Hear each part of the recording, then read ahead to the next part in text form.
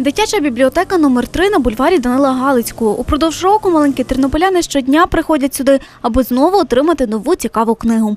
Проте тепер діти бігатимуть сюди ще охочішим, адже заклад стане бібліотекою дитячої творчості, у якій проводитимуть майстер-класи.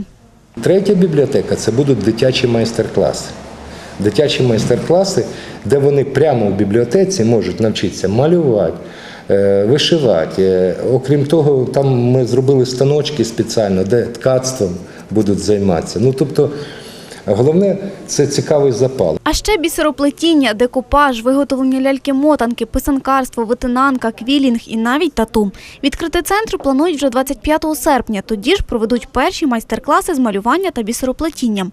Зараз же активно втілюють ідею в життя. На все часу небагато, а от роботи вдосталь. Працівникам бібліотеки допомагають майстри, бо ж інтер'єр треба доповнити і стилізувати. Нещодавно на стіні читального залу з'явилась пава. Такий же малюнок і на плакаті, і навіть на клумбі перед входом у бібліотеку.